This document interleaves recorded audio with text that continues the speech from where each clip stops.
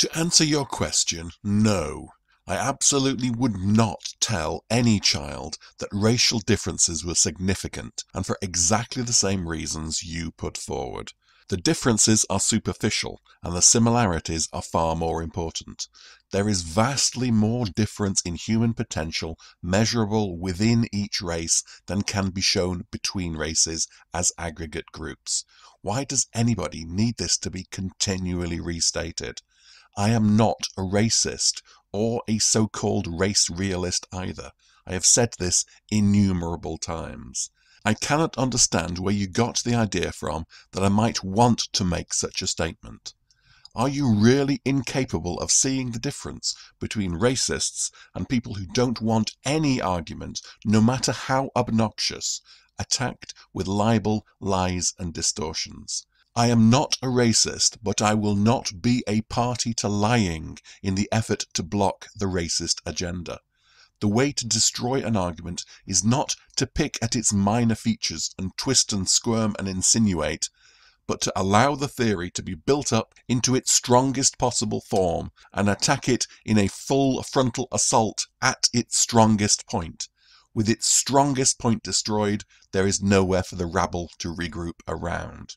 I have been found to be a racist and race realist because I made a video with the title Race Surrealism.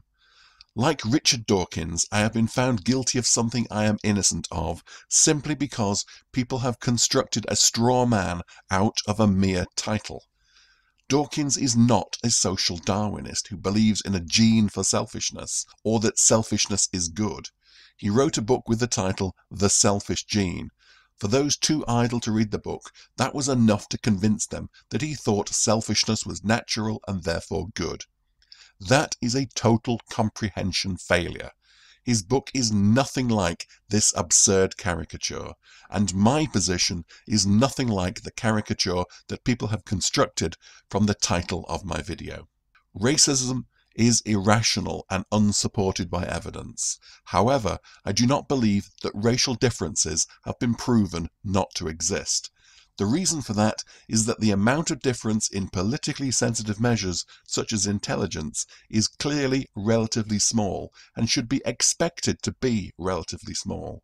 Expecting zero difference in any measure of any variable factor among diverse human populations is an absurd faith stance. It could of course be true if there was a God running the world.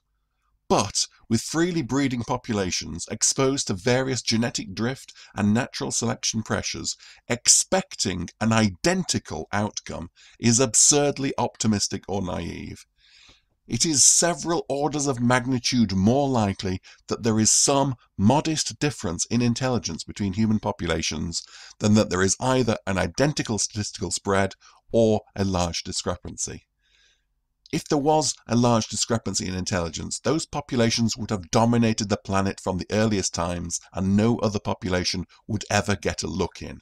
That isn't the pattern we see in history. What we do see in human history is entirely consistent with human populations being broadly equal or varying within very small bands with massive overlap. That is what I'm arguing for the possibility of accepting that not every human population will have exactly the same mean, mode, median and standard deviation on any measure at all.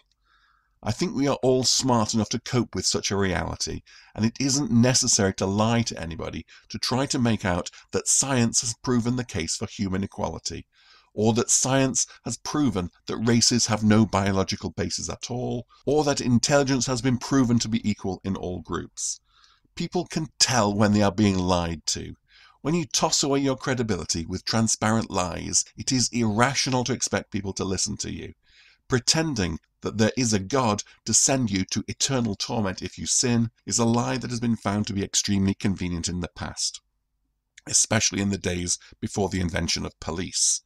Perfect racial equality, backed by science, is the modern day equivalent of this.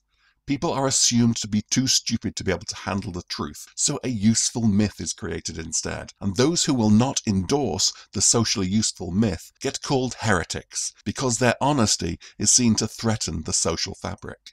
The religious always seem to hate the outspoken heretic far more than the venal sinner. Race is a social construct, but it is based on real biological variation, if poorly understood. Human equality is another human construct, not a scientifically proven fact. Humanity is not equal. Nature simply doesn't do equal. Nature does strong and fast and smart, but not equally strong, equally fast, or equally smart. Accepting the possibility of inequality at the group level as well as the individual level is simply being adult. It is not that I accept the possibility, it's more the case that perfect equality is so much more unlikely than similarity that I find the notion of people standing up and beating their breasts, declaring that equality has been discovered, to be just absurd. The idea that the first case of equality ever discovered in the world of biology would be found in human intelligence is as likely as President Putin being found to be the best golfer in Russia. You'd have to be a bit flaky to accept such a stunningly bizarre and politically useful coincidence. Faking evidence and destroying categories so that inequality can never be demonstrated is childish, smashing the theories of races and scattering its ashes, dismissing the concept of intelligence, making out that IQ measurements are no more scientific than horoscopes, are all aspects of what I call race surrealism, the misguided attempt to destroy racism by attempting to make it impossible to prove that there are differences between human groups beyond those which even pre-verbal children can see are real and self-evident. Why would people do that if they believed that there were no differences which could be found? Genuine scientists never go out of their way to disprove stuff which is transparently untrue and unscientific, such as astrology or the so-called science of Noah's flood. Attempting to crush racism with a combination of science, myths, ostracism and character assassination is not an edifying sight and it is poor tactics. It will backfire and cause damage to science as well as to politics as it always has in the past when science has been used to push a political agenda.